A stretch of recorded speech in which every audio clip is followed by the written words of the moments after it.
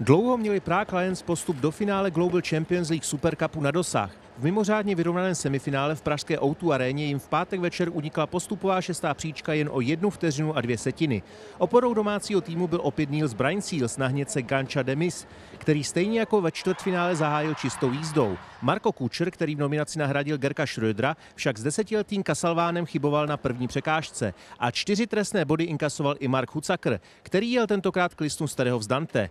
Osm trestných bodů dovezlo pět dalších týmů a tak rozhodoval součet časů, který pražské lvy odsunul na konečné sedmé místo.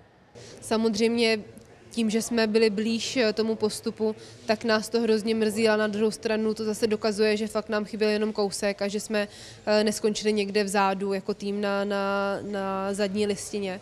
Ale eh, je to strašná škoda. Čisté konto neudržel žádný z 12 týmů. Vítězní Paris Panthers měli čtyři trestné body. Druhé místo obsadil Madrid in Motion před Valkenswaard United.